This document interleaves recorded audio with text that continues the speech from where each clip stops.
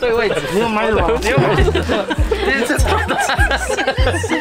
家庭主妇哦，这是路人。对对对，看到这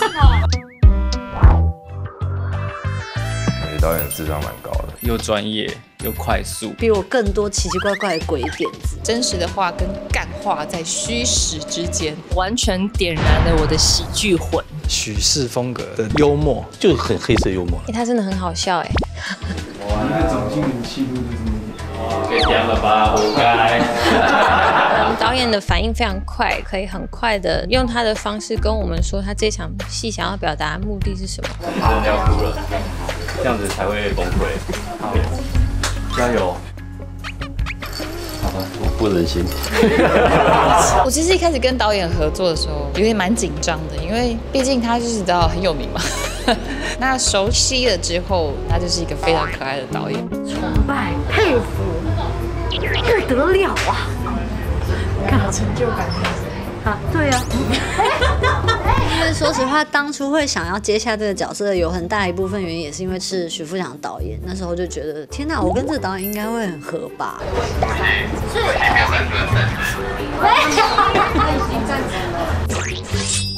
哦，我非常喜欢导演的假戏。我对转头问导演说：“导演，这样真的可以吗把地址给我，我马上到。那就挂掉电话传一下，然后叮咚就。快了吧？研究这一条就是研究。不是你要深究也可以哦，我们来要慢慢讨论。我觉得他本身就是一个有很多的想法的一个导演。遇上了，遇上了初春的暖阳。需要别人拿一个剧本出来。初春的暖阳让我融化了。来，我写一下。好。一边流汗，然后一边有一些想法，然后导演会提供给我之后，我再让他去发展成以前那样子，我觉得很好，就是很被导演信任的这个感觉，让我可以很自由发挥。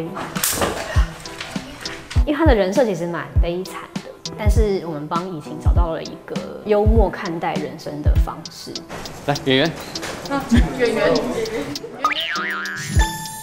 一位巨星的诞生。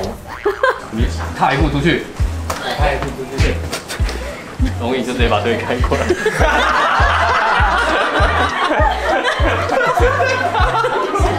他应该就是这一部戏最多六十个的男生吧。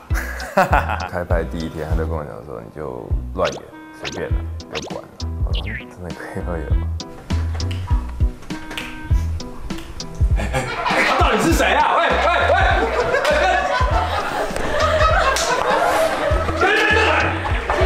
巨星的诞生呢，就是第一次来要进保利应征的那一天，然后可能他其实本来就只是林演同学，然后也是要一起等面试的人，他就不知道为什么，反正我也就突然说，哎，不然他就睡在我的肩膀上好了。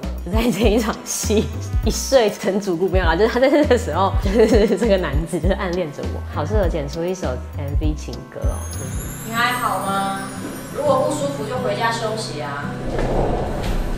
我只是多你而已，谢谢你关心我。就我们这边在拍的是轻喜剧，然后他那边在拍的是偶像剧，自己也会蛮期待他那边的发展。对，哎，我想看他跟女主角谈恋爱的那种感觉。